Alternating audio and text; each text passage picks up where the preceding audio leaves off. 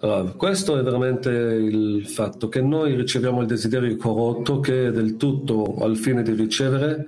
non siamo neanche consapevoli a questo che noi ci operiamo perché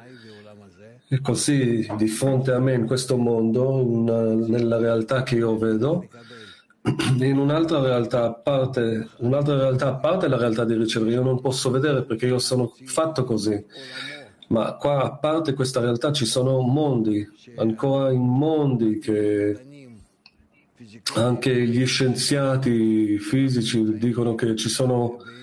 ancora, che siamo in un luogo che non lo conosciamo, non lo comprendiamo, ma solo una piccola parte che ci, che ci viene rivelata. E come mai solo una piccola parte è rivelata? Perché noi siamo in una percezione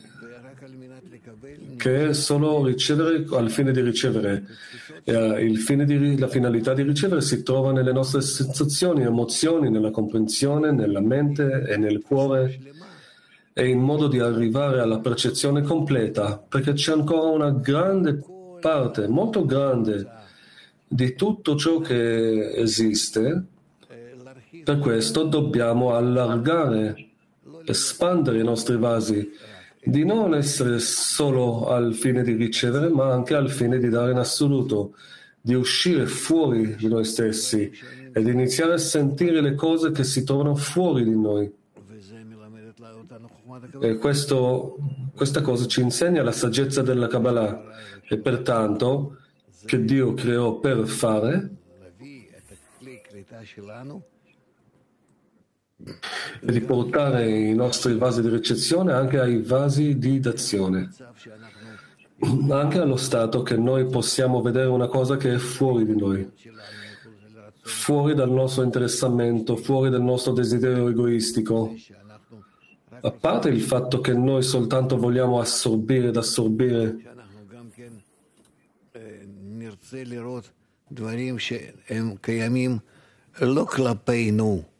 Vorremmo vedere anche cose che non esistono solo nei nostri confronti, che da questo abbiamo bene o male. Allora io sento che posso sentirli, o in modo di poterli, poter sentirli, io devo essere in vasi che non mi riguardano, cioè non, mi, non è che attribuiscono a me tutti i fenomeni. Questo si chiama con la fede al di sopra della ragione, la dazione al di sopra della ricezione, e così noi arriviamo alla percezione completa della realtà.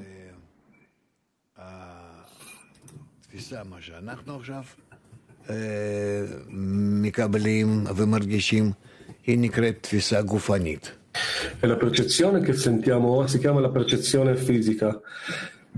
o materiale, perché con lo scopo di ricevere è per me stesso, e invece nello, nella percezione che svilupperemo e sentiremo che è fuori di noi, questa cosa si chiama la percezione dell'anima, al fine di dare in assoluto, uscendo fuori di noi stessi. E allora dobbiamo capire che noi ora stiamo ricevendo e sentendo solo una piccola parte di tutta la realtà ed anche questa parte è falsa, è distorta, dato che viene sentita in noi soltanto in base ai nostri vasi, le nostre qualità. E se noi desideriamo percepire quello che c'è fuori di noi, dove esistiamo, ed anche di vedere noi stessi, chi siamo noi nella maniera vera, e allora dobbiamo elevarci al di sopra dei nostri vasi verso i vasi della dazione. Questo significa essere nella fede al di sopra della ragione, nella percezione della realtà fuori di noi, nella forma che noi rigettiamo, rifiutiamo la ricezione